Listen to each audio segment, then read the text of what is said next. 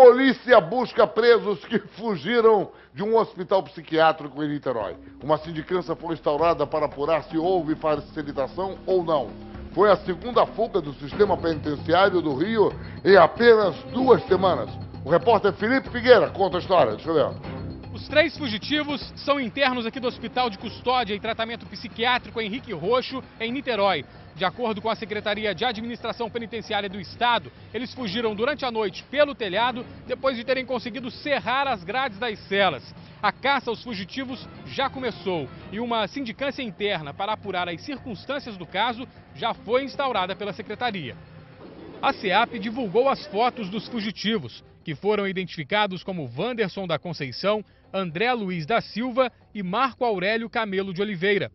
Agentes da Corregedoria e da Superintendência de Inteligência do Sistema Penitenciário estiveram no local e ouviram os funcionários da unidade. No hospital, ninguém estava autorizado a dar detalhes sobre a fuga à imprensa. Estou aqui desde a hora que eu cheguei, não tem, não tem nada para informar. No último dia 3, 31 presos conseguiram fugir do complexo penitenciário de segurança máxima de Jericinó, em Bangu, na zona oeste do Rio. De acordo com funcionários do presídio, os bandidos escaparam por um túnel construído numa área verde na parte externa do Instituto Penal Vicente Piragibe, onde funciona a horta da unidade.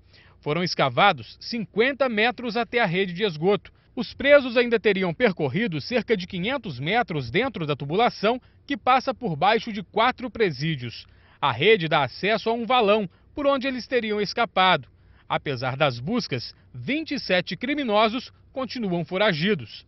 A fuga dos três internos do Hospital de Custódia e Tratamento Psiquiátrico Henrique Roxo foi registrada nesta delegacia, está à frente do caso.